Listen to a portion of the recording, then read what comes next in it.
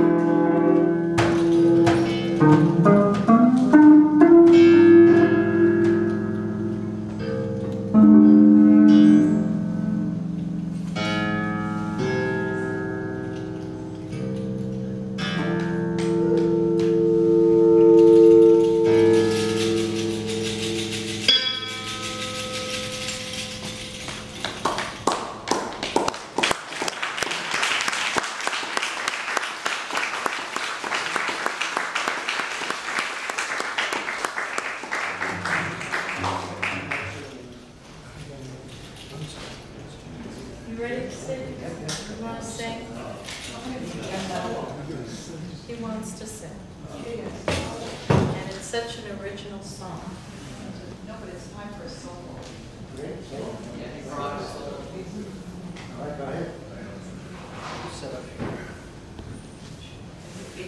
do, this, we need to do the first. What, the first. Song first.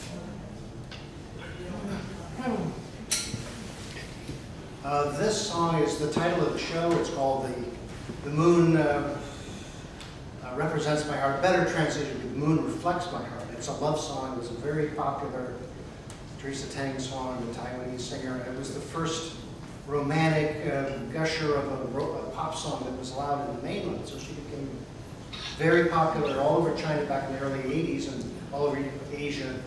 She died at the height of her career from uh, an asthma uh, illness. And so this has sort of been her memorial song for herself uh, for all these years. But uh, we're going to have a little sing-along, so you, once you get the feel that this is a very, let's say, schmaltzy, but a simple song in Chinese. And the words mean, uh, you asked me how much I love you, and it goes so deep. And my, my love is true, my heart is true, and the moon reflects my heart. And then you can see and you can say that my love is genuine. But uh, we don't have karaoke here, but you can get the tune. Rick, that's all in Chinese. That's on the karaoke machine that we didn't bring. No, if I was going to lead it,